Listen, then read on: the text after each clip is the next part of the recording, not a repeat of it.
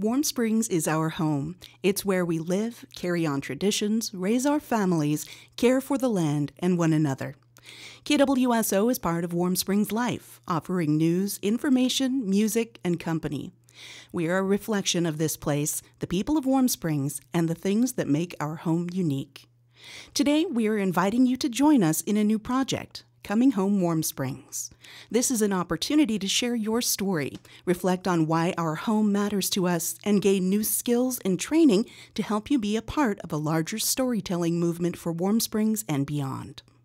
If you're interested, please leave a short comment here about what home in Warm Springs means to you, or post a picture in the comments that represents how you feel.